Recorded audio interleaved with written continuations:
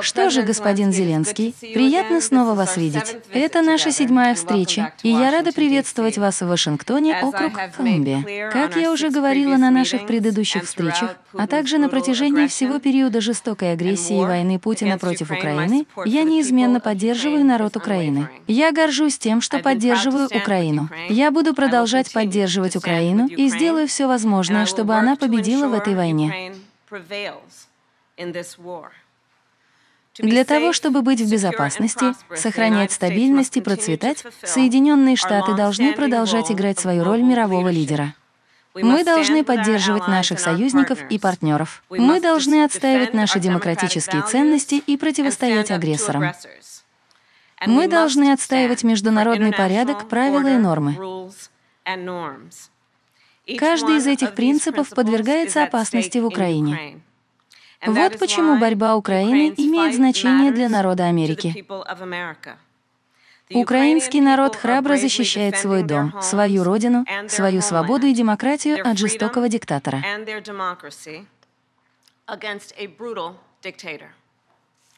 А американский народ хорошо знает, что такое свобода, независимость и важность верховенства закона. Эти идеалы являются основой нашей американской сущности. И некоторые из самых важных моментов в нашей истории были связаны с тем, что мы противостояли агрессорам, таким как Путин, как это происходит и сейчас. Действительно, поддержка наших друзей и защита наших идеалов от тирании помогли Америке стать самой могущественной и процветающей страной в мире.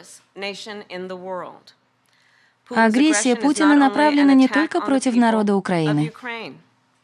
Это также атака на такие фундаментальные принципы, как суверенитет и территориальная целостность. Международные правила и нормы — это не абстрактные понятия.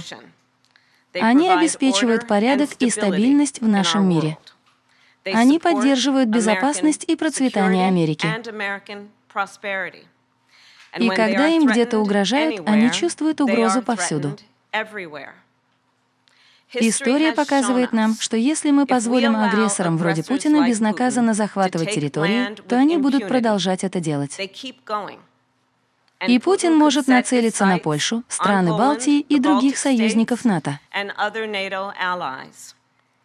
Мы также знаем, что другие потенциальные агрессоры по всему миру наблюдают за тем, что происходит в Украине. Если Путину позволят одержать победу, то это придаст ему смелости. История напоминает нам, и это совершенно очевидно, что Соединенные Штаты не могут и не должны изолироваться от остального мира.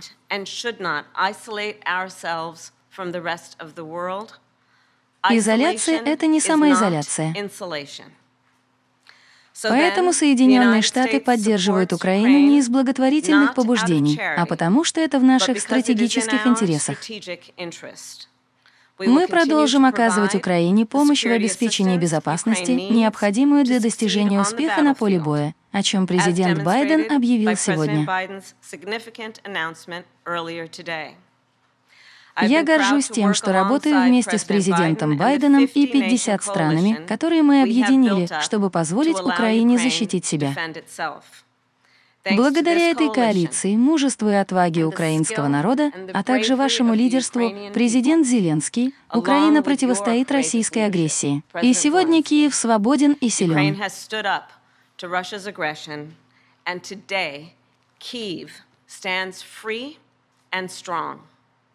Президент Зеленский, я предельно ясно выразился. Путин начал эту войну и мог бы закончить ее завтра, если бы просто вывел свои войска с суверенной территории Украины. Конечно, он не продемонстрировал никакого намерения сделать это. Вместо этого он продолжает наносить удары по гражданской инфраструктуре и терроризировать народ Украины.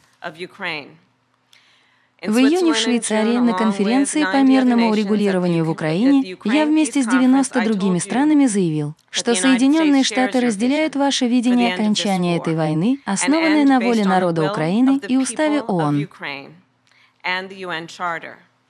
и что мы должны работать с международным сообществом, чтобы добиться справедливого и прочного мира. И я сказала мировым лидерам, что без Украины невозможно решить ни один вопрос, касающийся окончания этой войны. Однако, откровенно говоря, я хочу сказать вам, господин президент, что в моей стране есть люди, которые хотели бы заставить Украину отказаться от значительной части своей суверенной территории, которые требовали бы, чтобы Украина стала нейтральной и отказалась от сотрудничества в сфере безопасности с другими странами.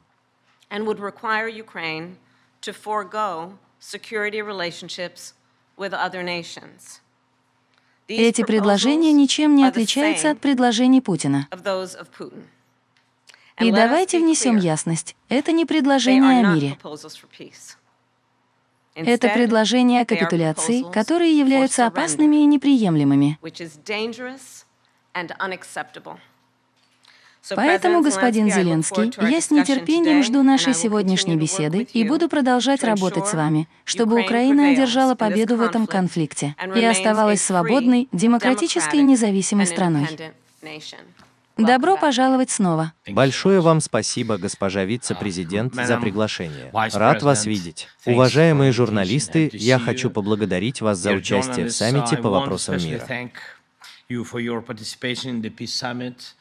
И это действительно было очень важно, и мы это помним. Uh, Формат саммита был успешным. Мы готовимся ко второму саммиту, и теперь мы должны положить конец этой войне. Нам нужен справедливый мир, и мы должны защитить наших людей, украинские семьи, украинских детей и всех от путинской агрессии.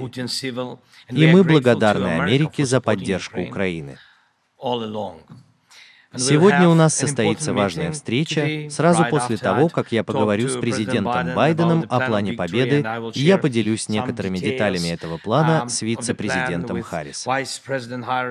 Для нас очень важно, чтобы мы полностью понимали друг друга и работали в тесном сотрудничестве с Соединенными Штатами.